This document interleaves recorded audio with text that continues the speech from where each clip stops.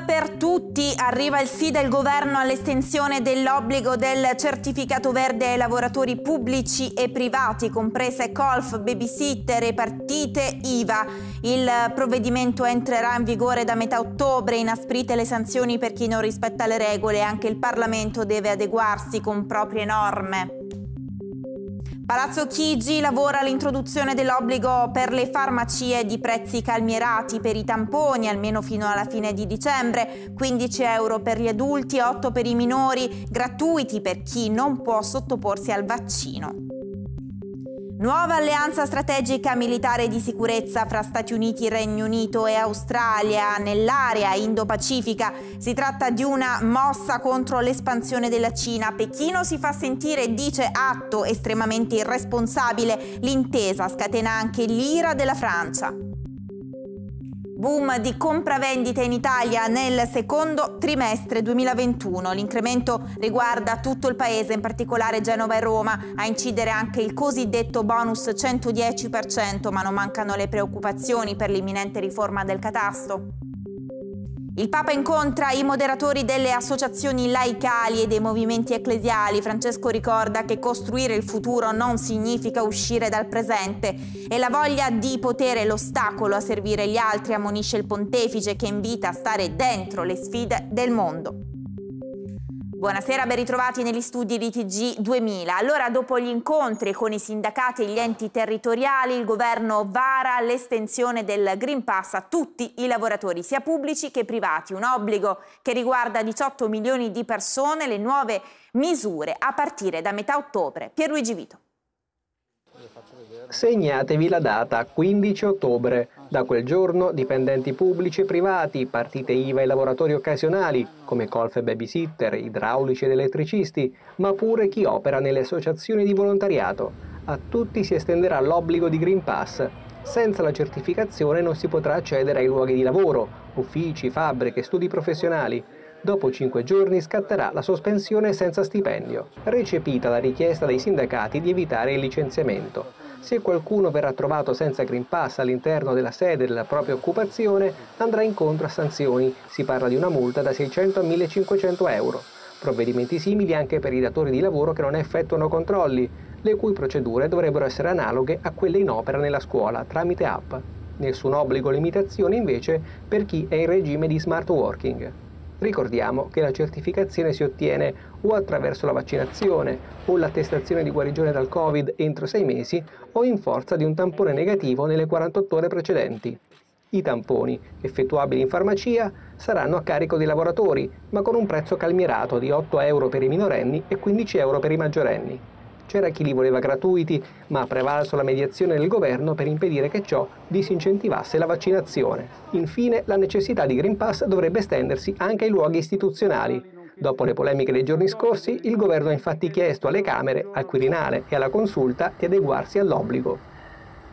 Il governo ha scelto dunque con determinazione la strada dell'obbligo del Green Pass, anche se non sono mancati contrasti, polemiche e divisioni nel percorso che ha condotto al provvedimento. Augusto Cantelmi.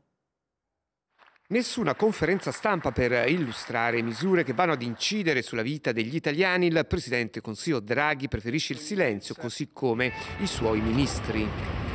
Ministra, come andate con le regioni? Come è andata con le regioni? La richiesta di tampone lungo 72, 72 ore.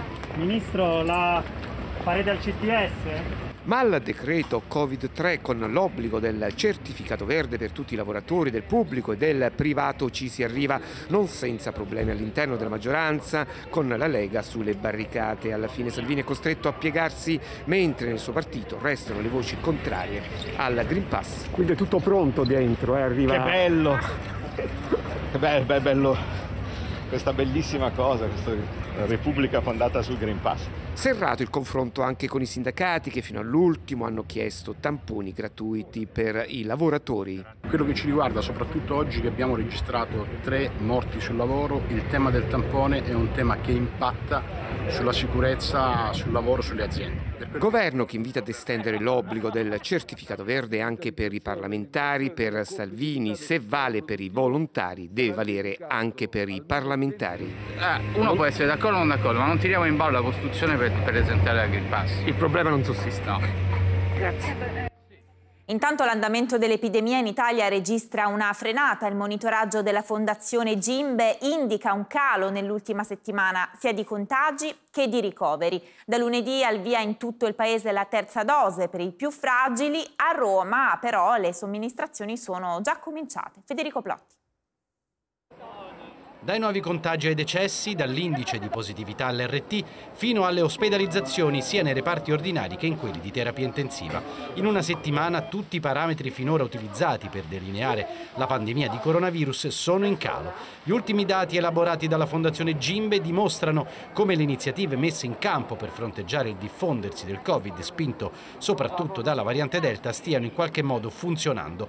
Tutto questo nonostante le derive Novax e le diffidenze sui vaccini che ancora circolano soprattutto in rete e sui social. Effetto Green Pass e campagna di immunizzazione e i numeri parlano chiaro. Rispetto alla settimana precedente, in quest'ultima i nuovi contagi sono scesi di oltre il 14%, meno 3,3% i ricoveri nei reparti Covid, meno 1,6% nelle rianimazioni. E in ospedale ci finisce praticamente solo chi non ha ricevuto alcuna dose di vaccino. Nel bollettino di oggi sono poco più di 5.100 i nuovi casi di coronavirus con un indice di positività dell'1,6%, 67 i decessi. E in alcune regioni è già partita la somministrazione della terza dose per le categorie più fragili come immunodepressi, pazienti oncologici, dializzati e trapiantati. Oggi il via a Roma. Sono stato trapiantato di fegato e quindi il eh, posto trapianti mi ha contattato che dovevo farla e io eccomi qua, l'ho fatta. Io non ho nessuna paura perché bisogna vaccinarsi per proteggersi dal Covid perché è una malattia gravissima. E ho fatto la prima, la seconda dose, è andata benissimo, non ho avuto nessun disturbo e faccio volentieri la terza dose, anzi l'ho fatta, guardi, non c'è problema. In dieci giorni sono state uccise sette donne, l'ultima vittima ieri nel Vicentino, una mamma di 21 anni, Alessandra Zorzino, uccisa da Marco Turrin che poi si è suicidato. Una striscia impressionante, evidentemente la recente normativa del codice rosso non basta da sola a fermare la strage. Alessandra Camarca. Pollice della mano piegato, quattro dita in alto e poi chiuse a pugno, un gesto che vale come urgente richiesta d'aiuto e che tutti dobbiamo saper riconoscere e replicare. Se drammaticamente ce ne fosse bisogno in caso di violenza contro una donna. Uno stratagemma ormai sempre più utilizzato come quello di fingere di ordinare una pizza e chiamare invece la polizia per salvarsi dal compagno violento. A fronte della scia di delitti contro le donne sempre più lunga e inaccettabile, non sembrano dunque sufficienti le norme norme contenute nel codice rosso, il testo di legge che individua i reati attraverso i quali si esercita la violenza domestica e di genere. È fondamentale, accanto all'introduzione delle norme, stimolare e promuovere un cambiamento culturale che parta dal dare credito alle donne che ehm, denunciano la violenza e chiedono protezione perché temono per la loro vita e dall'altra parte che, che mh, superi un atteggiamento diffuso di sottovalutazione del fenomeno e della pericolosità degli autori di violenza nelle relazioni di intimità. Sono sette le donne uccise negli ultimi dieci giorni, nel 2021 si contano fino ad oggi 83 femminicidi. L'ultimo caso è avvenuto ieri nel Vicentino. A essere uccisa una giovane donna di appena 21 anni, Alessandra Zorzin, madre di una bimba di quasi tre anni. Dei 199 delitti commessi da gennaio ad oggi, 83 sono donne e oltre la metà sono state uccise dal partner o da un ex fidanzato. Gli esteri, il presidente americano Biden ha annunciato una nuova alleanza strategica, militare e di sicurezza con Regno Unito e Australia nell'area Indo-Pacifica, un'iniziativa che ha provocato non pochi malumori. Antonio Soviero. In videoconferenza col premier britannico e quello australiano, il presidente statunitense Joe Biden annuncia una nuova alleanza strategica, militare e di sicurezza con Regno Unito e Australia nell'area Indo-Pacifico. Il patto si chiama AUKUS e permetterà tra l'altro all'Australia di dotarsi di una flotta di sottomarini a propulsione nucleare grazie alla tecnologia di Stati Uniti e Regno Unito. Sono sottomarini posseduti finora solo da sei paesi al mondo, Stati Uniti, Russia, Francia, Regno Unito, Cina e India. È chiaramente una mossa contro l'espansione della Cina che in quell'area sta occupando isolotti e atolli strategici imponendo la legge del più forte. Infatti Pechino si fa subito sentire. È un atto estremamente irresponsabile che mina la pace nella regione, afferma il portavoce del Ministero degli Esteri cinese. La nuova alleanza fa arrabbiare anche la Francia, che perde così il contratto del secolo che aveva siglato con l'Australia per la fornitura di 12 sottomarini convenzionali alla modica cifra, si fa per dire, di 56 miliardi di euro. Oggi sono davvero in collera. È una pugnalata alle spalle, dichiara il ministro degli esteri francese Jean-Yves Le Drian. E l'Unione Europea? Bruxelles non era stata neanche informata della nuova alleanza e non è la prima volta da quando Biden è alla Casa Bianca. Recentissimo il caso del ritiro statunitense dall'Afghanistan. C'è un paese, un altro paese in guerra, in guerra da sei anni, come tutte le guerre porta gravi sofferenze, ma è una guerra che si consuma nel silenzio. Parliamo dello Yemen dove negli ultimi scontri sono morte 50 persone e la popolazione è senza acqua, senza medicine e servizi essenziali. Marco Burini. Dopo sei anni la guerra nello Yemen si trascina ancora tra violenza e sofferenza. Nella regione centrale di Baida, una cinquantina di morti negli scontri tra forze governative lealiste filo-saudite e insorti Houthi appoggiati dall'Iran, che da mesi hanno messo sotto assedio Mariba, a est della capitale Sana, zona ricca di petrolio. Mentre a sud, nella zona del porto di Aden, le forze separatiste appoggiate dagli Emirati Arabi hanno dichiarato lo stato di emergenza, dopo giorni di proteste popolari contro l'aumento dei prezzi prezzi e la corruzione. Almeno tre i morti, che si aggiungono alle migliaia di una guerra in cui è pesantemente coinvolta l'Arabia Saudita, che combatte gli Houthi, musulmani sunniti contro musulmani sciiti. Ieri a Riyadh è arrivato il nuovo inviato speciale dell'ONU per lo Yemen, nel tentativo di ridare fiato ai colloqui di pace che qualche mese fa avevano fatto credere a una svolta. Invece il paese sprofonda sempre di più in un abisso di dolore e fame. Mancano i servizi essenziali, acqua, medicine e la maggior parte dei 29 milioni di abitanti dipende dagli aiuti internazionali.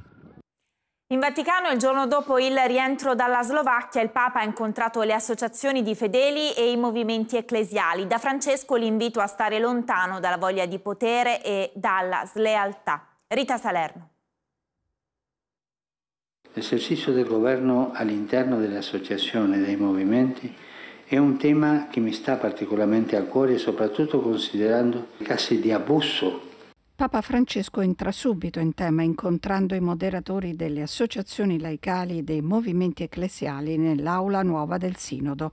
Ai partecipanti Bergoglio, reduce dal viaggio in Slovacchia e in Ungheria, ricorda che costruire il futuro non significa uscire dal presente. Altrimenti si corre il rischio di vivere in un mondo parallelo distillato lontano dalle sfide reali della società, della cultura e di tutte quelle persone che vivono accanto a voi e che attendano la vostra testimonianza cristiana. Il cristiano è sempre in cammino per aderire alla volontà di Dio, attuando un autentico servizio cristiano, aggiunge il pontefice che richiamando il decreto dell'11 giugno scorso sulle associazioni internazionali di fedeli per il ricambio ai vertici fa notare che non c'è più spazio per la sete di potere e per la slealtà. Non di rado la Santa Sede ricorda è dovuta intervenire avviando non facili processi di risanamento. L'esperienza di vicinanza alle vostre realtà ha insegnato che è benefico necessario prevedere un avvicendamento negli incarichi di governo e una rappresentatività di tutti i membri delle vostre elezioni per poi ribadire che gli incarichi di governo non sono altro che una chiamata a servire, perché per il bene della Chiesa nessuno è padrone dei doni ricevuti e non deve soffocarli, ma ciascuno invece è chiamato a farli crescere e fruttificare laddove è posto dal Signore. La cronaca ci porta a Torino dove quattro persone sono indagate perché ritenute responsabili di aver pubblicato su chat e social immagini e frasi dal contenuto nazista, razzista e antisemita. Sono accusate di propaganda e istigazione a delinquere per motivi di discriminazione razziale, etnica e religiosa. Cambiamo argomento, in grande rialzo il mercato immobiliare, crescita delle compravendite soprattutto a Roma e Genova. Non mancano però le preoccupazioni nel settore. Giuseppe Caporaso. Boom di compravendite nel secondo trimestre 2021 nel nostro paese. Secondo il report dell'Osservatorio del mercato immobiliare dell'Agenzia delle Entrate, la crescita degli acquisti di case è stata del 73,4%, mentre gli scambi nel settore terziario commerciale hanno visto un aumento del 97,9% rispetto allo stesso periodo dello scorso anno. Aumentano in modo significativo anche le compravendite nell'ambito immobiliare nei settori produttivi, più 85,4% e agricolo, più 88,1%. Insomma, un settore, quello immobiliare, in ripresa. Lo stesso report evidenzia però che lo scorso anno si arrivò allo stesso trimestre dopo due mesi di lockdown e quindi di sostanziale paralisi. L'incremento riguarda in ogni caso tutte le aree geografiche del paese. A Genova e Roma si osservano i maggiori rialzi delle compravendite immobiliari, ad incidere anche il rilancio del settore con il cosiddetto bonus 110%, anche se non mancano le preoccupazioni per una possibile ed imminente riforma del catasto. Più che di un boom del mercato immobiliare possiamo parlare di una ripresa del mercato immobiliare. I valori stanno crescendo, valori che erano fortemente stati rallentati l'anno scorso con il lockdown e con tutte le chiusure derivanti dalla pandemia. Il mercato immobiliare certamente può essere aiutato dal super bonus che potrebbe essere un volano per lo sviluppo, però potrebbe anche essere rallentato da altre voci che ci sono in questo periodo sulla riforma del catasto. Un'altra morte sul lavoro dopo quella di ieri a Genova, questa volta a Marano, nel napoletano. Antonio Vasto, 57 anni, stava tinteggiando la facciata esterna di una villetta in via del mare quando, per motivi ancora da chiarire, è caduto da un'impalcatura alta diversi metri. Ha battuto la testa, non aveva un casco di protezione. L'uomo era con un altro operaio che ha dato l'allarme. Entrambi lavoravano in nero.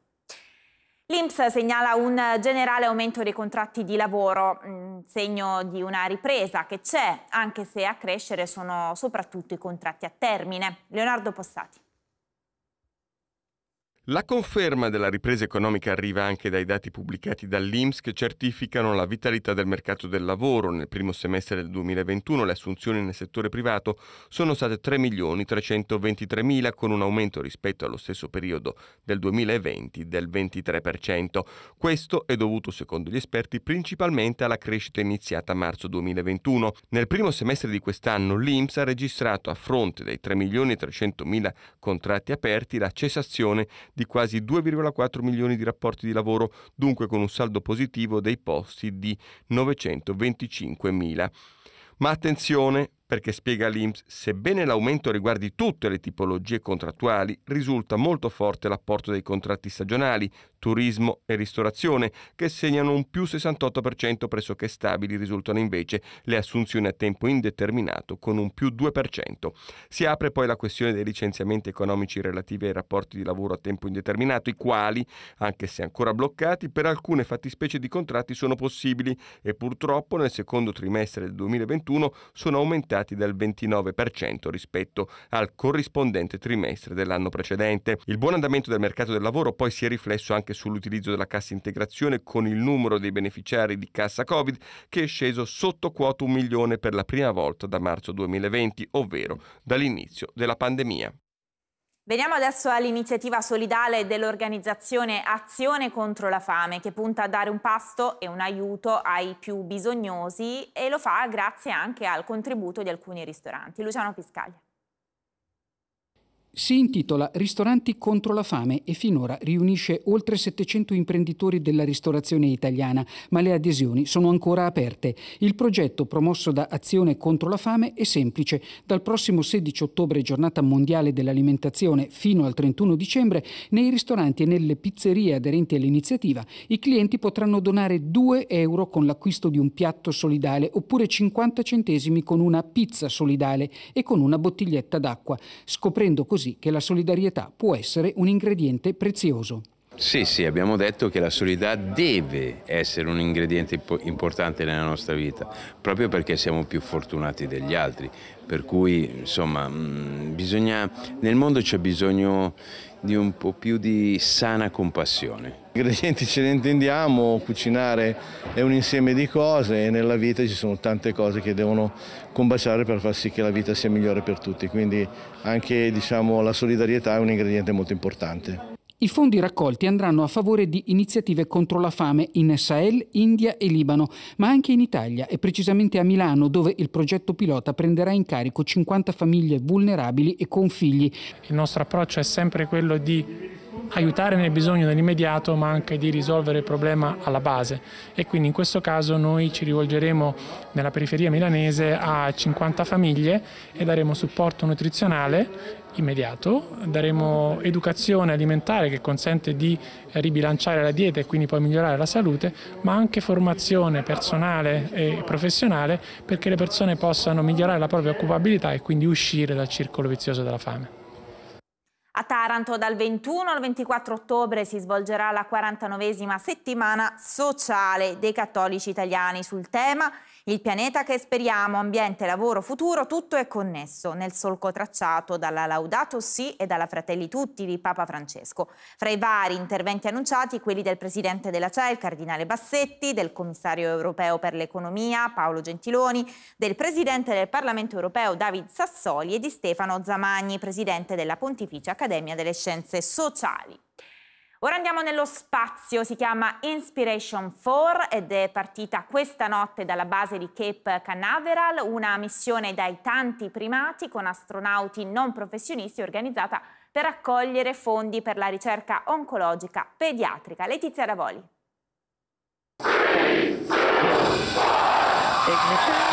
Un decollo perfetto in perfetto orario. In Italia erano appena passate le due di notte quando dalla stessa storica base di lancio da cui partirono le missioni Apollo a Cape Canaveral è decollata a bordo di un razzo di SpaceX la missione Inspiration 4. Una missione dai molti primati. La prima con un equipaggio di astronauti non professionisti da non chiamare turisti spaziali. La prima il cui pilota è una donna di colore. La prima che ospita a bordo una persona con una protesi, una giovane assistente medico di un ospedale pediatrico americano specializzato specializzato in cure oncologiche. È lei il cuore della missione. Ha sconfitto il cancro da bambina proprio grazie a quella struttura dove oggi lavora, alla quale andrà tutto il ricavato delle offerte arrivate durante il viaggio di tre giorni attorno alla Terra, organizzato proprio per raccogliere fondi per la ricerca. Da un miliardario che pochi mesi fa ha acquistato i biglietti per lo spazio da Elon Musk, il proprietario di SpaceX, e che ora guida l'equipaggio composto da quattro persone. Insieme a loro anche un piccolo peluche che la tradizione dello spazio vuole a bordo per segnalare tornare, iniziando a galleggiare, la condizione di gravità zero, un peluche simbolo dell'ospedale, un golden retriever come quelli che portano sollievo e un po' di serenità ai piccoli pazienti in cura sulla Terra, anche lui rigorosamente con la tuta spaziale. Altra novità, una straordinaria finestra sul nostro meraviglioso pianeta, una cupola da cui perdersi nella immensità del cosmo. Siamo autorizzati tutti a sognare il futuro. E adesso con Silvio Vitelli facciamo un altro tipo di viaggio, un viaggio musicale scandito da 15 interviste nell'Italia del dopoguerra. Quando da bambino io ho ascoltato, grazie a mio nonno paterno, eh, queste musiche, queste voci, questo modo di suonare, di cantare, mi ha colpito. E poi perché ho capito nel tempo che erano dei grandissimi professionisti. Sono qui fra le tue braccia ancora Una passione autentica per le grandi voci del passato, le interviste raccolte negli anni non per essere pubblicate ma per il solo desiderio di conservare un ricordo. Ed ora quegli incontri privati diventano un libro. Scrivimi, come il titolo del successo di Luciano Taglioli, il cantante preferito da Stefano Paggioro, il racconto di Nilla Pizzi, Miranda Martino, Carla Boni e molti altri, come Gino Latilla. Vecchio scarpone, quanto tempo passato. Grazie a suo padre ha incontrato il famoso maestro Angelini. Maestro Angelini lo ha voluto ascoltare e al termine della canzone gli ha detto lei cosa sta facendo in questo periodo? E lui ha risposto sto studiando. Dice ecco guardi, continui a studiare perché lei potrà fare tutto nella vita tranne che il cantante. Lui ci rimase male, riuscì comunque ad avere la possibilità di cantare alla radio e una sera il maestro Angelini lo sentì, non riconobbe la sua voce e lo chiamò. Quando si presentò all'auditorium della RAI di Torino, disse Ah, è lei? E da quel giorno il maestro Angelini chiamava Gino il mio errore. Io sono il vento Quello con Arturo Testa è un altro dei grandi incontri messi nero su bianco da Stefano. Anche in questo caso non mancano le curiosità. Arturo Testa nel 1959 partecipa per la prima volta al Festival di Sanremo. Quando ha iniziato a cantare la prima canzone Né stelle e né mare, le signore delle prime file litigavano per le poltrone. Ha detto io ero, pensavo che lì fosse un posto dove ci fosse la massima attenzione da parte del pubblico. Invece dice queste signore, io mi giocavo la carriera, dice queste litigavano per le poltrone, io tutto concentrato a cantare la canzone. Una pausa, torniamo tra poco. Di nuovo in studio con due notizie prima di chiudere. State vivendo una stagione, la vecchiaia, che non è una malattia ma un privilegio, quello di assomigliare a Gesù che soffre. Lo scrive Papa Francesco in una lettera ai sacerdoti, anziani e malati della Lombardia, riuniti al santuario di Caravaggio per una giornata di preghiera e ai preti il Papa chiede, concludendo la lettera, pregate per me che sono un po' anziano e un po' malato, ma non tanto, dice Francesco. E poi l'altra notizia sono state diffuse le anticipazioni del rapporto parlamentare sull'aborto in Italia. Sia nel 2019 che nel 2020 si è registrato un calo di interruzioni volontarie di gravidanza. Nel 2020 sono state poco meno di 68.000. È tutto, vi lascio le previsioni meteo, poi c'è la diretta della messa, TG2000 torna alle 20.30 più tardi.